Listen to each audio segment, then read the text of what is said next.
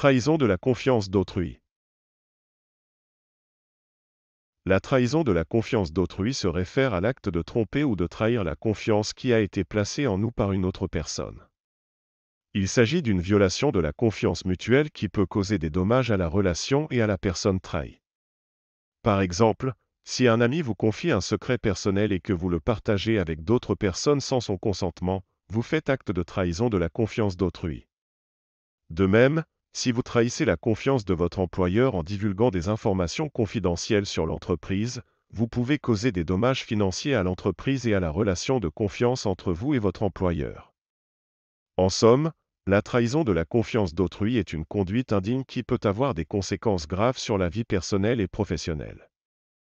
Il est donc important de respecter la confiance des autres et de ne pas trahir cette confiance placée en nous.